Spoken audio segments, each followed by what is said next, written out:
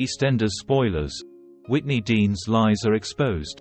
Airs at 7.30 p.m. on Tuesday 23 April 2024. Whitney Dean is under pressure to come clean to Zach Hudson in Tuesday's episode of EastEnders at 7.30 p.m.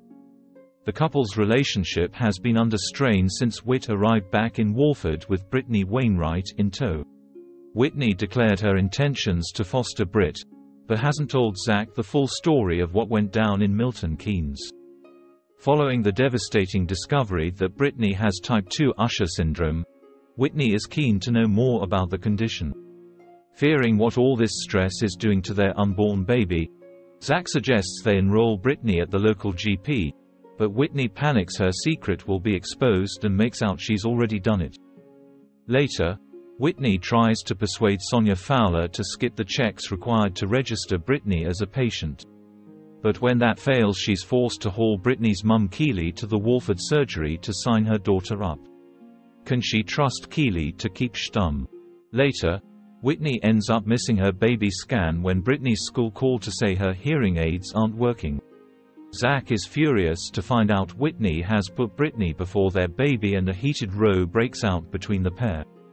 Tensions continue to mount at Sonia's dinner party, before concerned Lauren Branning pulls Whitney aside and insists either she tells Zach the whole truth about Britney's fostering, or she will.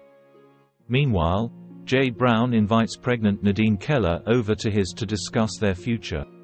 But their meeting turns sour when Jay brings the paternity of Nadine's baby into question. Appalled by the accusation, Nadine insists Jay is the father and lets slip she's expecting a little girl. The news tugs on Jay's heartstrings, and he hands Nadine over a wad of money, promising to be there for her and their unborn child.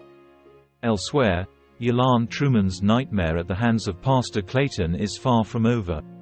Gripped by terror, Yolande has been too afraid to tell the police the predatory cleric subjected her to a horrific sexual assault. As she reluctantly faces Gideon at prayer group, Yolande is further troubled by him invading her personal space.